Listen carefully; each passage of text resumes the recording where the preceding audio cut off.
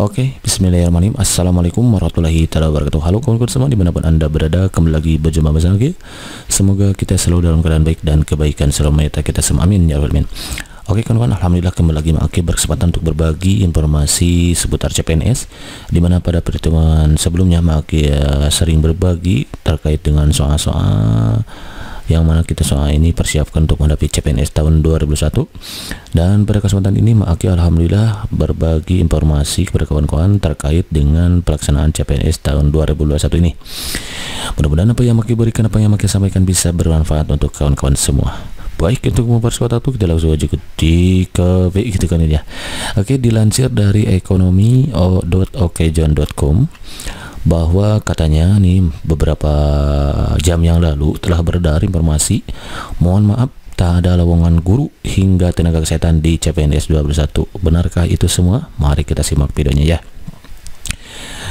Ini seperti yang disampaikan oleh Pak siapa ini?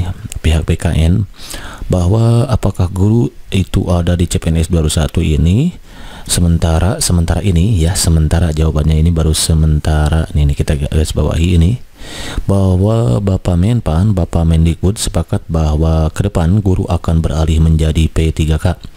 Ujarnya dalam konferensi pers virtual Selasa 29 Desember 2020 berarti hari ini ya. Bahkan menurut Bima, ini menurut Pak Bima, lowongan guru juga tidak akan pernah lagi diisi lewat seleksi CPNS ke depannya Hal ini juga termasuk untuk pengisian tenaga kesehatan hingga penyeluhan yang nantinya akan diisi oleh lewat seleksi P3K. Hmm. Jadi kawan-kawan memang ini pernah disampaikan sudah ya bukan pernah lagi sudah disampaikan oleh Pak Bima oleh dan pihak PKN bahwa memang Pak Menpan, Pak Mendikbud sepakat untuk ke depan CPNS untuk guru itu beralih ke P3K. Namun ini sifatnya masih sementara karena sebagaimana yang sudah Maki berikan di video sebelumnya bahwa setiap tahunnya guru itu banyak sekali yang pensiun gitu ya kawan-kawan kebetulan ASN PNS setiap tahunnya tentu itu sangat besar sekali terutama untuk guru yang tidak bisa digantikan oleh siapa pun ya termasuk oleh mesin canggih apa pun tetap keberadaan guru itu diperlukan karena guru adalah jantungnya pendidikan nah namun untuk apakah dia ada di CPNS tahun 2001 ini? Untuk sementara waktu katanya ya ini akan beralih menjadi P3K ya tidak untuk kemungkinan. Ini karena sifatnya sementara bisa jadi tetap ada kawan-kawan ya. Jangan berkecil hati. Lebih lanjut, ke depan kami tidak akan menerima dengan status CPNS tapi P3K. Dengan demikian juga tenaga kesehatan, dokter, penyuluh juga PKK. Nah, memang sih sempat berdar bahwa memang perlu kita ketahui kawan-kawan bahwa P3K itu 99% rasa PNS bahkan di beberapa waktu yang lalu telah beredar informasi bahwa penggajian P3K pun itu katanya untuk dengan 3A itu sebesar 4 juta. Nah ya ini besar dari PNS bisa jadi kalau memang ini misalkan ditutup nah beralih menjadi P3K makanya gajinya diperhatikan. Yang membedakan itu kan hanya pensiun saja kan kan ya. Kalau PNS itu ada pensiunnya kalau P3K tidak ada.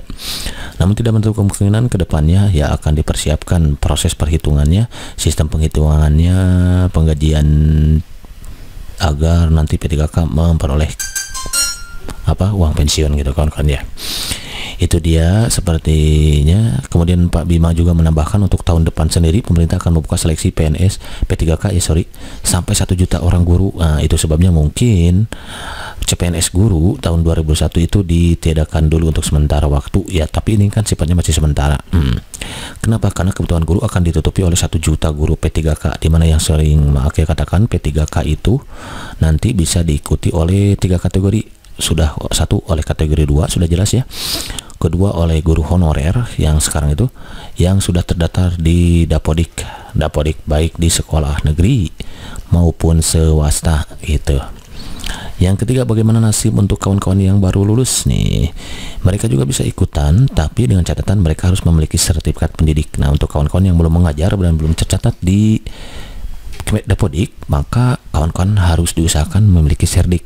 Karena itu disarankan oleh Maake untuk kawan-kawan yang masih kuliah sekarang uh, lanjutkan kembali satu sekolah satu tahun ya PPG Prajabatan itu kuliah lagi satu tahun yaitu untuk memperoleh sertifikat pendidik ini agar nanti kawan-kawan bisa ikut bersaing dengan kawan-kawan yang sudah lama mengabdi yang sudah tercatat di Dapodik ya baik di sekolah negeri maupun swasta.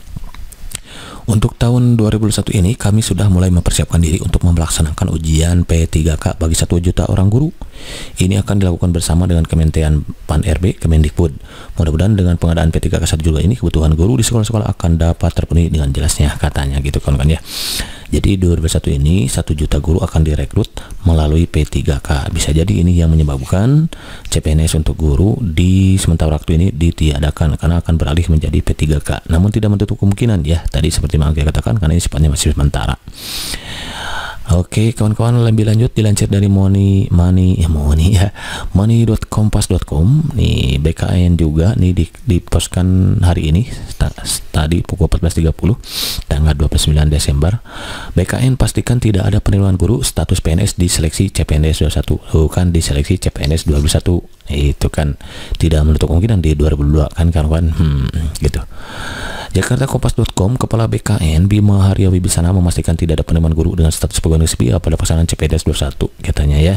Jadi di CPNS 21. Namun lanjut Bima status para guru yang direkrut nanti akan berubah menjadi pegawai pemerintah dengan perjanjian kerja PP 3K itu kawan-kawan. Sebagaimana yang diungkapkannya, Sementara ini Bapak Menpan, Bapak Medikbud dan kami sepakat bahwa untuk guru itu akan beralih menjadi P3K.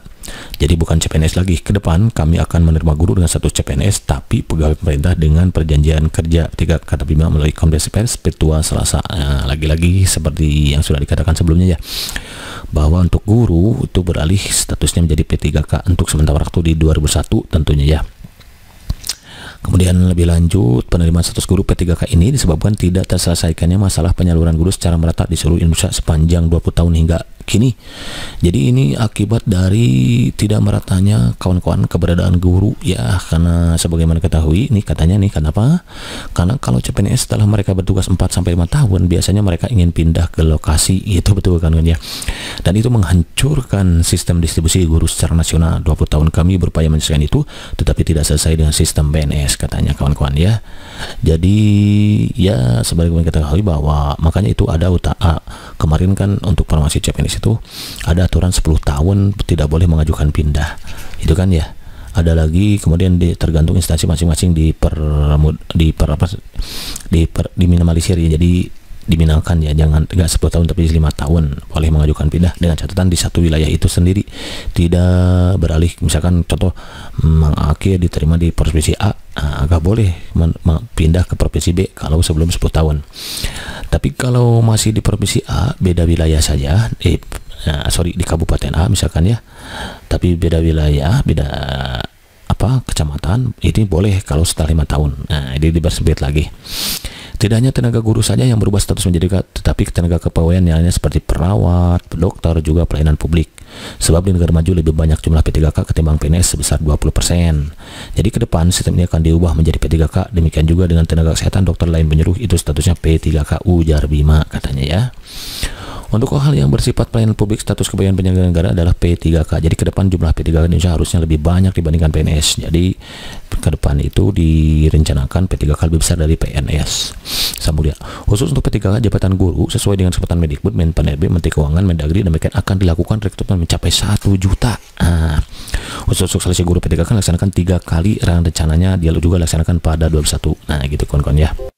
Oke kawan-kawan, jadi nantinya untuk ketiga kali itu tesnya akan dilakukan sebanyak tiga kali jadi kalau seseorang dinyatakan gagal pada tahap pertama maka dia bisa mengikuti di tes kedua ya, sampai dia dipertemukan tiga kali baru dinyatakan lolos menjadi P3K namun demikian ini baru rencana kampanye ya ada mana manusia yang bisa rencana tetap yang menentukan adalah yang maha kuasa. Jadi tidak ada salahnya untuk kita tetap berharap kepada Allah semoga mudah-mudahan di KPLP saat ini tetap akan ada formasi dulu kemudian Bapak Kesehatan dan penyuluh. Namun demikian, kawan-kawan, hmm, P3K ataupun PNS sebetulnya ini hanya sedikit perbedaan saja, apalagi hanya satu persen saja perbedaannya ya. Kalau P3K tidak ada pensiunnya, kalau CPNS ada pensiun kan. Sementara untuk hak dan kewajiban mereka memperoleh hak dan kewajiban yang sama. Jadi dia memiliki golongan juga, memiliki pegawai juga, kemudian juga dia memiliki hak dan kehidupan yang sama dan yang karir dia. Jadi dia bisa berkiprah sama dengan PNS lainnya gitu kan kawan. Apalagi nanti untuk skema penggajiannya juga direncanakan oleh pemerintah P3K bisa besar juga kawan-kawan ya bahkan bisa melebihi untuk yang PNS-nya kemungkinan dia kawan karena memang tidak ada pensiunnya. Sebagaimana yang dikatakan dari beberapa hari informasi yang beredar bahwa direncanakan untuk P3 K golongan 3 dan beranak dua itu memperoleh gaji 4 jutaan dan mereka mereka juga bisa mengikuti tingkat pendidik nanti yang bisa mengikuti sertifikasi uh, kalau memiliki sekat pendidik berarti ya dia, dia bisa dua kali lipat dan PNS lainnya gitu kawan-kawan namun demikian sebagai maka katakan tadi maka katakan kepada kawan-kawan bahwa ini baru rencana ya. Tetap yang menentukan dalam serta yang kuasa jadi juga kita dalam berdoa untuk berdoa tentunya ya mudah-mudahan nanti kita stop digelar walaupun misalkan tadi nantinya formasi perguru ditiadakan sementara untuk 2021 yang mudah nanti akan ada di 2020 tidak ada salahnya juga kita mengikuti CPNS di formasi 2021 ini. Ketiga kalinya kawan-kawan maksudnya tidak salahnya kita mengikutinya karena akan tujuannya sama tugas kita adalah memperbanyak membaca memperbanyak latihan dan memperbanyak berdoa sudah mengikuti buatkan video-video sebelumnya ya silakan kawan-kawan pelajari dan manfaatkan waktu yang tersisa sekarang ini. Karena dimungkinkan nanti akan ada dilakukan pada bulan Juli mendatang. Oke kawan-kawan bisa dilancarkan silakan ini? Mudah-mudahan bisa bermanfaat. Jadi kesimpulannya tetap semangat kawan-kawan. Ya karena ini kita masih rencana uh, yang menentukan dalam mengenai puasa banyak doa banyak peminta kepadanya seperti gambaran terakhir berdoa Allah berkenan baik kita Oke, kawan-kawan, see you next video. Warahmatullahi wabarakatuh.